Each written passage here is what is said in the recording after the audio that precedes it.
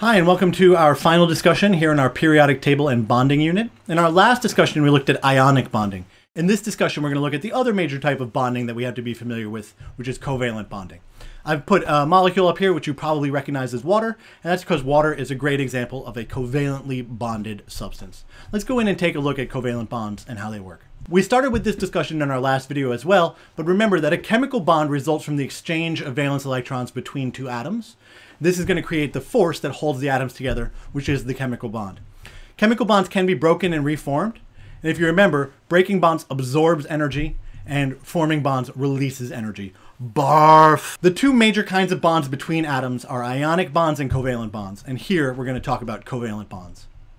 So a covalent bond results from the sharing of valence electrons. This diagram shows you how a covalent bond can be formed. When you take two atoms and you bring them close enough together, their electron clouds are going to overlap. If those atoms are looking to complete their valence electron configurations, once their mutual electron clouds are close enough together, the electrons in each of the atom are going to join together and work to simultaneously fill the valence configurations of both atoms.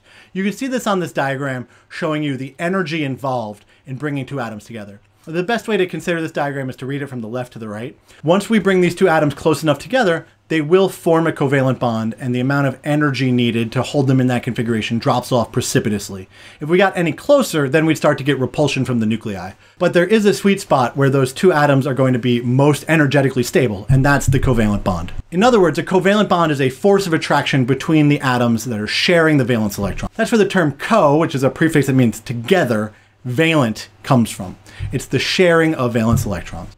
A big difference between covalent bonds and ionic bonds is that the atoms in a covalent bond are not ions. Among other things, this means that all bonds between nonmetals are going to be covalent bonds. Another interesting thing about covalent bonds is that an atom can make more than one covalent bond to other atoms. Covalent bonds can also come in single, double, and triple varieties, where you can have one atom sharing one, two, or three electrons simultaneously with another atom. The number of unpaired electrons that an atom has is equal to the number of covalent bonds that it can make. You have this chart in your notes on page 11, but it shows you some of the more common nonmetals that form covalent bonds. You see the dot diagram for the element, you see the number of unpaired electrons it has, and you can see that in each case that equates to the number of covalent bonds that that atom can make with other atoms. The term molecule actually refers exclusively to covalently bonded substances. Nonmetal atoms that are bonded together can comprise molecules, and since they're nonmetals, they have to be covalent bonds that hold them together. Every molecule has a formula that tells you how many of each atom are in the compound. Here are three common examples, water, methane, and ammonia. Water has one oxygen and two hydrogens. Methane has one carbon and four hydrogens, and ammonia has one nitrogen and three hydrogens. Notice that in each case we don't write the number one. This is common in chemistry. The number one is frequently omitted, with the notion being that if it's written down at all, there's at least one of them there. Interestingly, not all covalent bonds are created equal.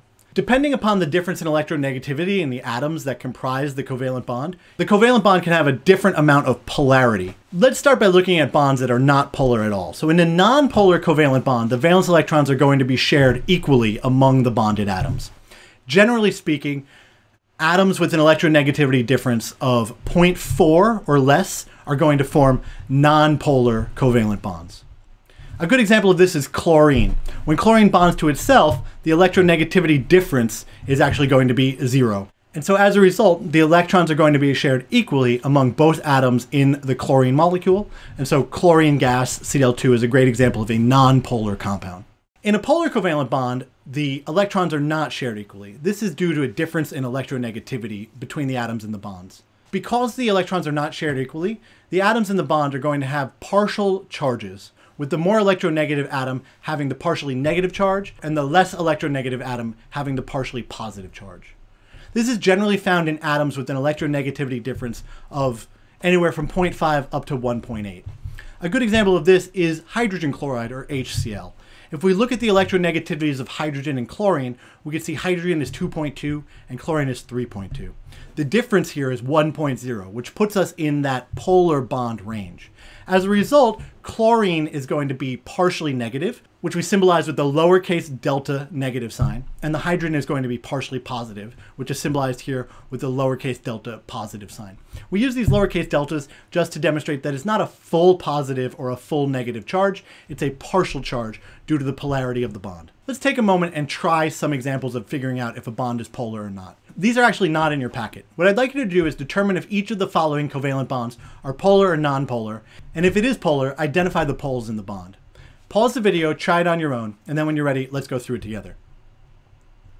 So let's do the nitrogen-oxygen bond first. Looking at reference table S, I can get the electronegativity values for these two atoms. The electronegativity of nitrogen is 3.0 and oxygen is 3.4. So the electronegativity difference between the atoms in this bond is 0.4, which makes this a nonpolar bond. Neither of these atoms will be partially positive or partially negative. They'll be electrically neutral. If we look at the nitrogen-hydrogen bond, the electronegativity of nitrogen is still 3.0, and the electronegativity of hydrogen is 2.2. So the electronegativity difference here is 0.8. Since we're only interested in the difference, we just need the absolute value. 0.8 puts us in the polar region for this bond. As a result, we will have a partially positive and a partially negative pole. Remember that the more electronegative atom is the partially negative atom, so in this case that's nitrogen, and the less electronegative atom is partially positive, in this case it's hydrogen. Here at the end, let's take a moment and review bond type. It all depends upon the electronegativity difference between the atoms. If the electronegativity difference is greater than 1.8, that's generally going to be an ionic bond. Similarly, if it's less than 1.8, it's going to be covalent. The general cutoff for polar covalent bonds is anywhere between 0.4 and 1.8, with anything less than 0.4 being pure covalent or non-polar. You have a chart that sums this up on page 15 of your Unit 6 packet as well. But remember that it's all relative. And so polarity or non-polarity is really only useful when comparing one bond to another bond. These rules are helpful as kind of back of the thumb approximations, but nature really doesn't care what we think.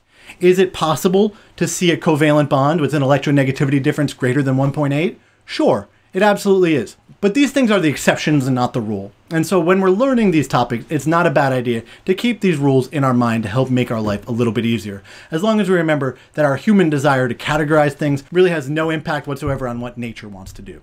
Thanks so much for watching our discussion of covalent bonds. Make sure that you can do the following things here at the end.